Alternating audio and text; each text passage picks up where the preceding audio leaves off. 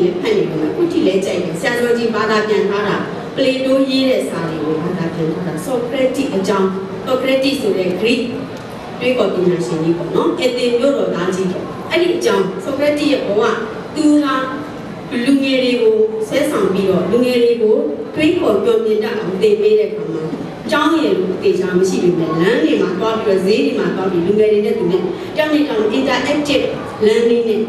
ပြောခဲ့တာလေအဲ့ဒါလေးပုံလုံးရေးထားတာဆိုဆရာစောကြီးရဲ့ဘာသာပြန်ကောင်းတယ်လို့ကျွန်မပြောခွင့်ရှိသလားမပြောတတ်ဘူးရှိကျမလည်းရှိမယ်ကျမလူပါမှာဒါပေမဲ့ဆရာစောကြီးပြန်ထားတာတိတ်ကောင်းတယ်မဖတ်ဘူးသေးရင်တော့ကျမဖတ်စေချင်တယ်ဖတ်ကြည့်ပါတွေးပေါ်မျောမြင်ခြင်းနဲ့ပတ်သက်လို့ရွေးချယ်မှုနဲ့ပတ်သက်လို့အကြောင်းအရာတွေကိုလောကျစ်ကြကြပေါ့နော်စဉ်းစားတတ်အောင်သင်ပေးလိုက်တာကဆရာစောကြီးရဲ့အဲ့ဒီ Socrates အကြောင်းနော် Plato နိဒံ Plato နိဒံဆိုတာ introduction ပဲ အဲ့ဒါကိုကျမကြည့်ပြီးတဲ့နောက်မှာကျမအဲ့ဒါကိုရွေးမိတာလားဒါမှမဟုတ်ကျမအလွန်ကြိုက်တဲ့စာရေးဆရာတယောက်ရှိတယ်ခင်ဆွေဦးရဲ့စာရေးဆရာမျိုးဆိုခင်ဆွေဦးခင်ဆွေဦးရဲ့ဝတ္ထုတွေထဲမှာ Plato နဲ့ Love ဆိုတာပါတယ်ဂျာဘူးလားမသိဘူးနော်အရင်ခေတ်ကလူတွေကတော့ဂျာဘူးမှာပေါ့ကလေးတွေကတော့ Plato နဲ့ Love ကိုပဲသိမလဲနော် Plato နဲ့ Love ဆိုတာအများအားဖြင့်ဆရာမကြီးရဲ့ဝတ္ထုတွေမှာမျိုးမီးနဲ့မျိုးသားနဲ့ချစ်ကြတယ်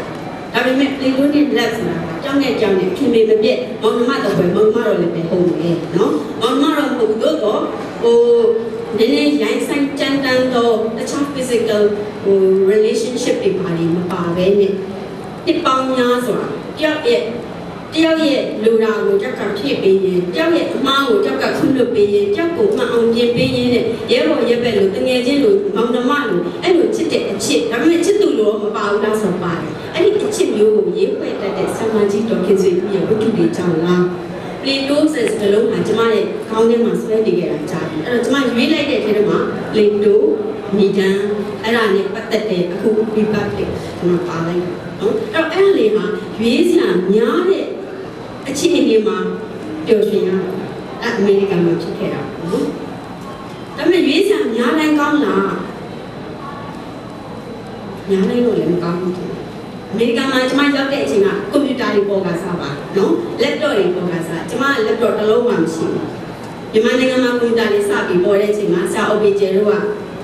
ကုမ္ပဏီတစ်ခုအဲ့နာမည်တော့ကျွန်မမပြောတော့ဘူးအဲ့ကုမ္ပဏီတစ်ခုနဲ့သူအလုပ်လုပ်တယ်သူကအဲ့ဒီအချိန်မှာကလေးကကွန်ပျူတာနဲ့ဆက်ဆက်မှုရှိတယ်ကျွန်မကအဲ့ဒီအချိန်မှာစာသာရင်းနေတာလက်ရင်းနေတယ်ရင်းနေတာကွန်ပျူတာကြောင့်မသိဘူးအဲ့တော့အမေရိကကိုရောက်တုံးရောက်ခိုင်ကျွန်မမှလည်းစတိုင်ပင်လေးတွေရတော့ငါကွန်ပျူတာတစ်လုံးတော့ဝယ်မှဖြစ်တယ်အဲ့ဒီအချိန်မှာကလေးကရွေးလိုက်တာ အဲ့ရွေးစရာနဲတာကောင်းတယ်ဆိုတာအဲ့ဒီအချိန်ကျမှကျွန်မသိတာရွေးစရာများလာတော့ကွန်ပျူတာအများကြီးပဲ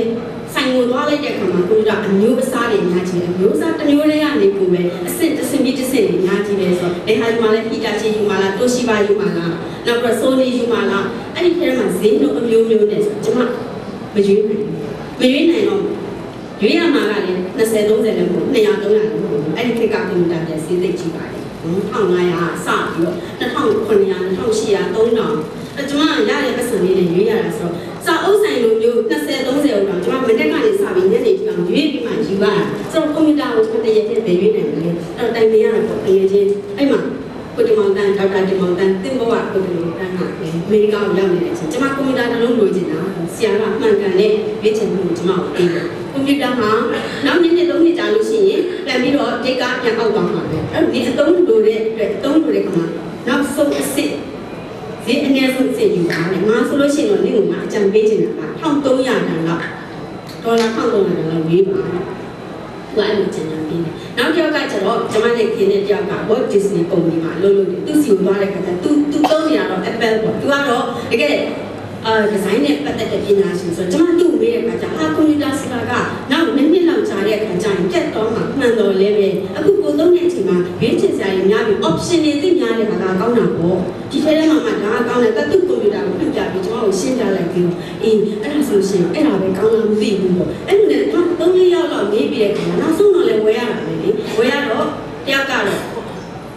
ဒီမှာဒီပြန်သွားတဲ့ခါမှာကောင်းကောင်းလေးပါသွားချင်တယ်ကောင်းကောင်းလေးရွေးပါအဲ့ဒါကျမ1300နဲ့3500ရဲ့ဂျားထဲမှာကျမချပြီးရွေးလိုက်တဲ့ခါမှာ2900ကွန်ပျူတာတစ်လုံးမှရွေးခဲ့ပါတယ် ဝယ်ခဲ့တယ်ပေါ့နော်မှန်ပြီပေါ့တိတ်သုံးလို့ကောင်းတာလေပေါ့စာရေးတယ်ကျမဘလုံချင်းဝတ္ထုနှစ်ပုတ်အဲ့ဒါနဲ့ရေးပြတယ်ဒီမှာပြည်ပြန်ရောက်လာနော်ဒီမှာပြည်ပြန်ရောက်လာတဲ့အခါမီးရတည်တဲ့အတိုင်းပဲလေပြက်စစ်မီးရ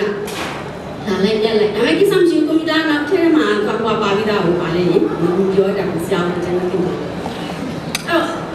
ရတယ်ရေးလို့ရတယ်သို့တော့ကျွန်မဆိုင်းစာခီးနေတယ်ရှိခီးနေတဲ့အ ခါကျရန်ကုန်ကနေမန္တလေးသွားတာတို့တခါမင်းတို့သွားတာလို့ဆိုတော့ကျွန်မသွားတဲ့အခါမှာကွန်ပျူတာကိုသွားရအောင်တည်ပြီးရေးရတယ်အဲ့တော့ကားနဲ့သွားတဲ့အချိန်မှာလေးနဲ့သွားရင်တစ်မျိုးကားနဲ့သွားတဲ့အချိန်မှာကတော့ပန်းပန်းပြီးဖြစ်ပြီးတဲ့အခါကျဘယ်နေရာမှာဘလို့အစင်မချောလဲမသိဘူးကျွန်မရဲ့ကွန်ပျူတာဟာကျွန်မစဉ်းစားထားပြီး9နှစ်လောက်ခံနေတယ်တစ်နှစ်အတွင်းမှာ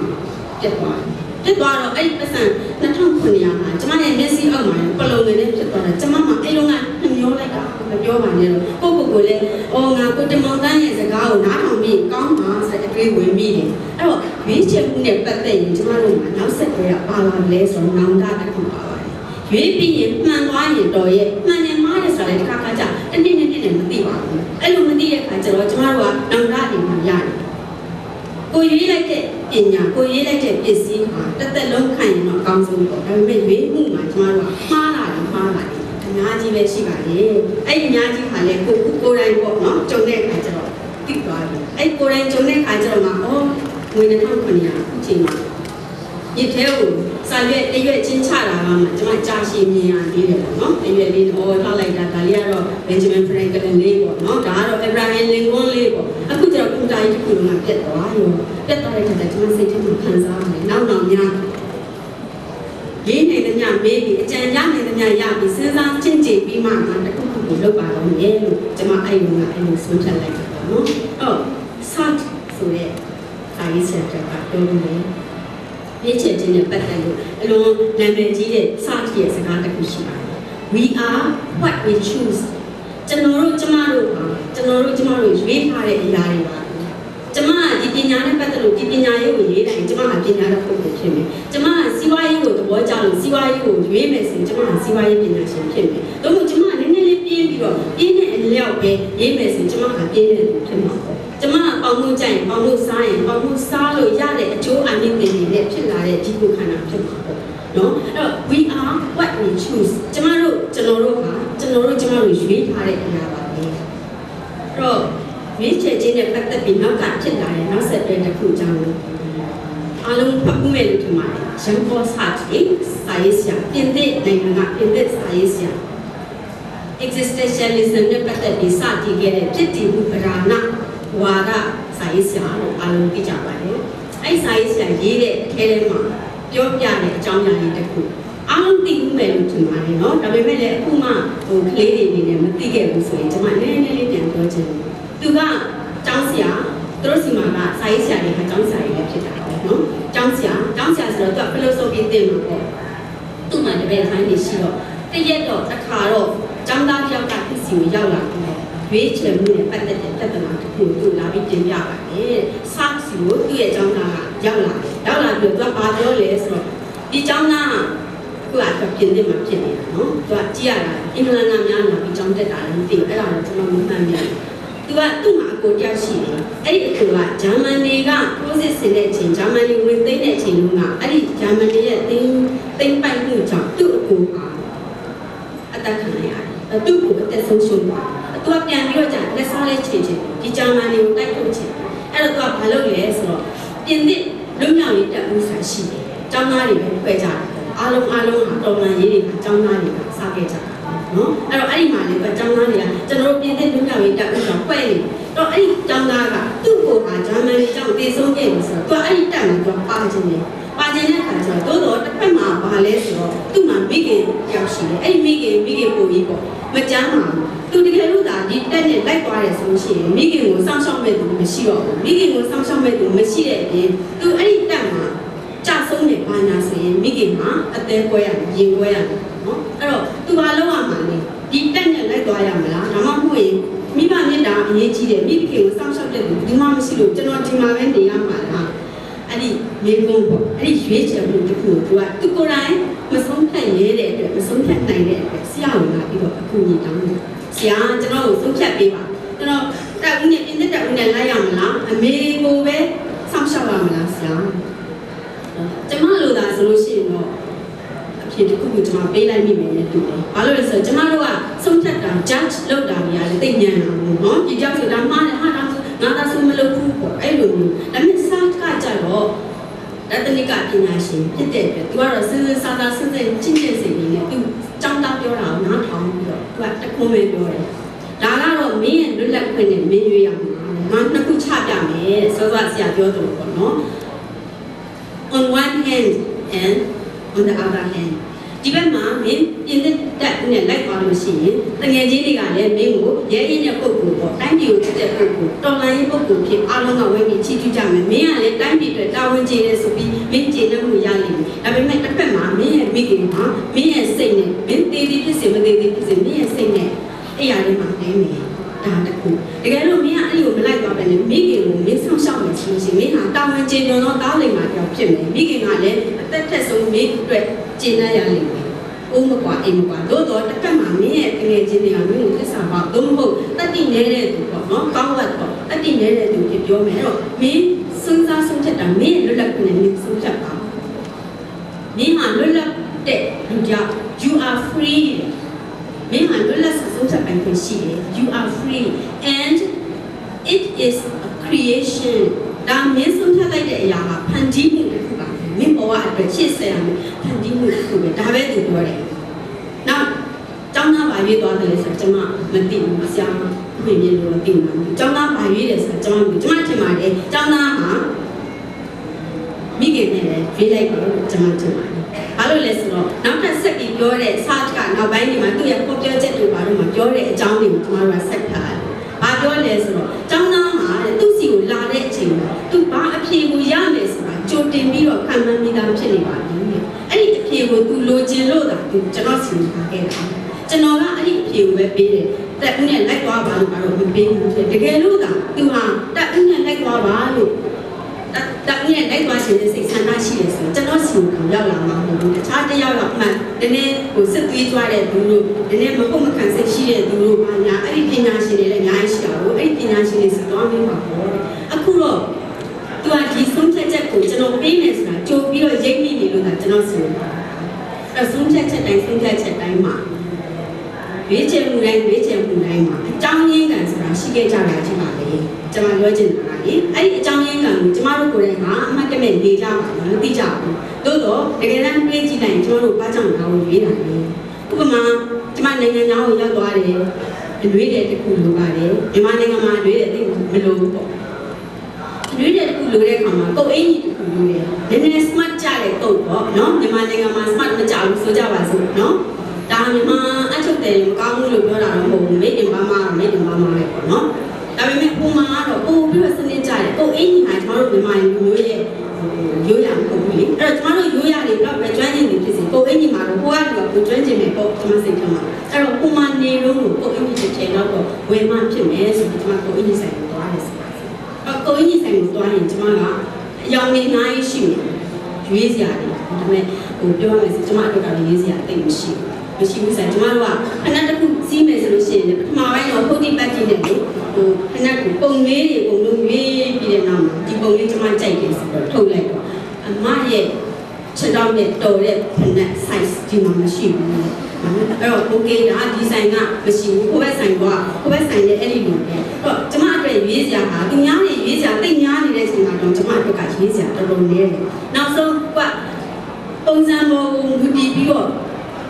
တောင်းတီမောင်းတီနဲ့တွားခဲ့ပြီနောက်ဆုံးတော့ကျမကအဲဒါဆိုရင်ကျမနဲ့တော်တဲ့နံပါတ်5ဘယ်မှာများရှိမလဲဆိုတော့အဲ့ထဲကနေကြောင်းလေးကနေထုတ်ပေးမယ်အဲ့တော့မှအဲ့ဒီဖက်နက်ကိုကျမကြိုက်ပြီးဖြစ်စေမကြိုက်ပြီးဖြစ်ဘာလို့ဆိုဒီထဲမှာကျမနဲ့တော်တာဒီတရံပဲရှိလို့လားဟုတ်နော်အဲ့တော့ရွေးစရာကကျမအတွက်ကနည်းတယ်အဲ့တော့ကိုင်းကြီးတက်တက်ကိုတွားတယ်ဆိုရင်အဲ့ဒီကိုင်းကြီးမှာကျမတို့တွားကြည့်တယ်တွားကြည့်တဲ့အခါကျအရောင်လေးတွေပြောင်းတော့ဘူးအဲ့မှာကျမဘာရွေးလဲအနဲ့ရောင်ကိုကျမရွေးတာအဲ့ဒီအနဲ့ရောင်ကိုကျမဘာဖြစ်လို့ရွေးတာလဲ ရွေးပြီးတဲ့နောက်မှာကိုယ့်ကိုပြန်ပြီးတော့စဉ်းစားတာကျမတို့မြန်မာနိုင်ငံမှာအနက်ကိုတိတ်ပြီးတော့မဝဲကြဘူးသူပြတရုတ်လူမျိုးဆိုရင်အနက်ကိုတတ်နိုင်တဲ့ရှောင်ကြတယ်ကျမတငယ်ချင်းတွေရှိတာပဲမြန်မာနိုင်ငံနဲ့အာရှနိုင်ငံတွေက colorful ဖြစ်တဲ့ရောင်စုံလေးတွေကြိုက်ကြတယ်အဝါရောင်ခရမ်းရောင်ပန်းရောင်ပေါ့ဒါပေမဲ့အနောက်တိုင်းကိုသွားတဲ့အခါအမေရိကကိုသွားတဲ့အခါမှာခဏခဏသွားတဲ့အခါကျသူတို့တွေဘာကြိုက်တာလဲဆိုတာကျမမြင်နေပြီသူတို့ကမိကိုရောင်မှိုင်းမှိုင်းတို့အသားရောင်တို့အနက်ရောင်တို့ဝင်များတယ်ဒါကြောင့်သူတို့စီမှာ color colorful ဖြစ်တာကိုပြန်ပြီးတော့ဟိုတို့အနဲ့ရောင်လို့မိကိုရောင်လို့ဆိုတာမှိုင်းနေတာကိုတကယ်လို့များဆောင်းရင်းကာလမှာနှင်းနေရလဲပုံလို့တစ်ပင်နေရလဲဂိုင်းနေရအချောက်တင်နဲ့မဲနေပြီးတော့နှင်းဖြူဖြူနဲ့ဂိုင်းမဲမဲနဲ့ဘုံကြည့်ဖြစ်နေတဲ့ပတ်ဝန်းကျင်မှာလူတွေအကုန်လုံးကလည်းအနဲ့ရောင်ကိုအင်ကြီးတွေမိကိုရောင်ကိုအင်ကြီးတွေနေနေနေဒီမြင်ဝင်းကြီးက very depressing ကိုကြောက်အဲ့လိုပြောတဲ့အခါကျသူတို့စီမှာအခုဆိုရင်တဲ့အနောက်တိုင်းမှာအင်ကြီးတွေဝတ်စုံတွေ colorful ဖြစ်အောင်တောက်ပတဲ့ အရောင်လေးတွေဝတ်ဖို့ပြန်ပြီးတော့ဆွဲဆောင်နေရပြီလို့ပြောတယ်ဒါပေမဲ့ကျွန်မရောက်တဲ့အချိန်တွေမှာတော့အနဲ့ရောင်တွေများတော့ကျွန်မကမသိစိတ်ထဲမှာကျွန်မအဝါရောင်ကိုကြိုက်ချင်ကြိုက်တယ်ဒါပေမဲ့ဒီမှာကြည့်လိုက်တော့အားလုံးဟာအဝါရောင်ဝတ်တဲ့လူကနည်းမှာနော်နည်းတဲ့အခါကျအနဲ့ရောင်တွေပဲတွေ့တော့အနဲ့ရောင်ကိုကျွန်မဝယ်မိလိုက်တာလားတကယ်တော့ကျွန်မအနဲ့ရောင်ကိုတိတ်မကြိုက်ဘူးပေါ့နော်သို့တော့ကျမရဲ့အမတယောက်ကအနဲ့အောင်တိတ်ကြိုက်လို့ဝင်လိုက်တာလားတို့မဟုတ်တချို့ကအယူဆရှိ အနဲ့အောင်ဝစ်ချင်းဟာလူဝတာကိုမသိတာစီဘူးတဲ့နော်အဖြူလောင်ဝစ်ရင်လူဝတာသိစီတယ်တဲ့ဆိုတော့ဖြူရောင်လို့အဲအယောင်ခပ်ဖြော့ဖြော့ဝစ်လို့ရှိရင်ဝတာဝမှန်းသိတယ်အနဲ့အောင်ဆိုလို့ရှိရင်မသိတာဘူးဆိုတော့ကျမအဲ့ဒါကြောင့်ကျမဝတာကိုလူတွေမသိအောင်လည်းနာရွေးတာလားကျမမပြောနိုင်ဘူးဒါပေမဲ့ကျမရွေးခဲ့တာကအနဲ့ရောင်ကိုရွေးချက်မှုရဲ့နောက်မှာနောက်ဖက်မှာလေနှစ်ဆယ်နှစ်သုံးဖို့နှစ်လသုံးဖို့သုံးလသုံးဖို့တစ်နှစ်ခံထားတဲ့အကြောင်းအရာတွေအများကြီးရှိပါတယ်အမှတ်တမဲ့ရွေးလိုက်ပြီတကယ်တမ်းတော့အဲ့ဒါဟာရွေးဖို့အတွက်ကအကြောင်းတွေဟာလူတွေးကခံလာလို့အဲ့တော့ဒါကကျွန်မအနေအောင်ရွေးတဲ့အကြောင်းအနေအောင်ကျွန်မရွေးလိုက်ပြီနော်အဲ့တော့အဲ့ဒီရွေးလိုက်တဲ့ကိစ္စမှာကျွန်မဘယ်လောက်ထိတာဝန်ရှိတာလဲရွေးချယ်ခြင်းနဲ့ရွေးချယ်မှုရဲ့နောက်မှာဖြစ်လာတဲ့တဿနာအဲ့ဒါကိုလည်းကျွန်မပြန်ပြောရရင်တော့ search ကို ပဲပြန်ပြောရမှာပဲရှင် search က jumbo search ကဘာပြောခဲ့လဲဆိုတော့စသလုံးကပြောပြီးပြီ we are what we choose ကျွန်တော်တို့ကကျွန်တော်တို့ရွေးချယ်ထားတဲ့အရာတွေပါပဲတဲ့ဒါပေမဲ့နောက်တစ်ခါအဲ့ဒီကျောင်းသားလေးအကြောင်းကိုပြန်ပြောနေရင်ကနေ lecture တွေမှာပြောတဲ့စကားကရွေးချယ်မှုတစ်ခုတိုင်းတစ်ခုတိုင်း choice တစ်ခုချင်းတစ်ခုချင်းရဲ့နောက်မှာကပ်ပြီးတော့ပါလာတဲ့အရာတစ်ခုရှိတယ်အဲ့ဒီအရာကတော့ anguish ဆိုတဲ့အရာပဲ anguish a n g i g u i s h anguish ဒါမှ anguish ပါမှန်းသိကျွန်မစိတ်ထဲမှာပထမတော့ကလို့ထင်တယ်ဒါမှမဟုတ်နောင်တလို့ထင်တယ်ဒါပေမဲ့တိတိကျကျပြန်ကြည့်တဲ့အခါကျ anguish ဆိုတာတော့ကလည်းဆိုနောင်တလည်းကိုမှားလိုက်တာလည်းစိတ်လည်းမဟုတ်ဘူးဘာလဲဆိုတော့တို့ philosophy နည်းပြရတယ်တို့ပြန်ပြီးဖြည့်ရှင်းပေးထားတာ anguish ဆိုတာကကိုရွေးတဲ့ညောင်မှာကိုလွတ်လပ်စွာရွေးလိုက်ပြီးဆိုတဲ့အသိစိတ်တစ်ခုအဲ့ဒါ anguish ပဲအဲ့လိုရွေးလိုက်ပြီးတဲ့နောက်မှာဖြစ်လာနိုင်တဲ့အရာတွေကိုလုံးဝကိုတောင်းဖြစ်ပြီးဆိုတာဒါမှ anguish ပဲလို့ ပြောပါတယ်အဲ့တော့ကျမရွေးလိုက်ပြီးအနေရောင်ရွေးတယ်ဆိုအဲ့အနေရောင်ကိုပတ်သက်တဲ့ anguish ကျမမှရှိတာပဲနောက်ဒါဝီရွေးဖို့ရွေးဖို့ညားတာတဲတာကလဖူရီယာအများကြီးပဲအနေရောင်တွေလည်းအများကြီးပဲဟာရွေးမှလည်းဒါကိုပုံဥပမာတစ်ခုအနေနဲ့ပြောထားတဲ့စကားတစ်ခုရှိတယ်အဲ့စကားကတိတ်ဆိတ်ဝင်လာစရာကောင်းတယ်ကျမထင်တယ်တချို့တစ်ဝက်ကကြောင်းနေလို့ထင်တယ်ဆိုတော့ကျမပြောလိုက်တဲ့ choice is the most powerful tool in our lives ဆိုတဲ့စကားကိုပြောခဲ့တဲ့ဒေါက်တာရှင်းနာပြန်လာဆိုတဲ့ PhD အဲ့ဒီပညာရှင်ကပြောခဲ့တဲ့စကားလူတွေဟာတဲ့ရွေးစရာတွေတိတ်များတာကိုတိတ်ကြိုက်ကြပါတယ်ဒါပေမဲ့ရွေးစရာများတိုင်းကောင်းတဲ့အချက်ရှိတယ်လို့ရွေးစရာများတိုင်းမကောင်းတဲ့နေရာတွေလည်းရှိတယ်တဲ့အဲ့ဒါကိုသူကဒီတိုင်းပြောတာမဟုတ်ဘူးဥပမာတစ်ခုဖြစ်အောင်စမ်းသပ်ချက်တစ်ခုဒီလုပ်ပါတယ်သူကသူပညာ behavior behavioral psychologist နော်လူတွေရဲ့အ ပြုအမူနဲ့ဆိုင်တာကိုသူကလေ့လာတယ်အဲ့တော့သူကလေ့လာတာမှာဒီလမ်းပေါင်းစုံနဲ့သူလေ့လာအဲ့ထက်ကသူအောင်မြင်တဲ့နီလန်းကိုရှိတယ်အဲ့နီလန်းကတော့ jam study လို့ jam ဆိုတော့ you ပေါ့နော် strawberry you နနက် you ဘာညာဘာညာအဲ့ you jam study အဲ့ you တွေနဲ့ပတ်သက်ပြီးတော့လူတွေရဲ့စိတ်ကိုလေ့လာတာအဲ့ပုံမြင်လေးပုံမြင်ဆိုတာလွန်ခဲ့တဲ့နှစ်နှစ်နှစ်သုံးနှစ်ကပဲဖြစ်သွားတဲ့ကိစ္စဆိုတော့နော်ဒါ story လေးတစ်ခုအဲ့ဒါလေးကျွန်တော်ပြောပြချင်ပါတယ်ပြန်ပြီးတော့ ပြန်ပြပေးပါနော်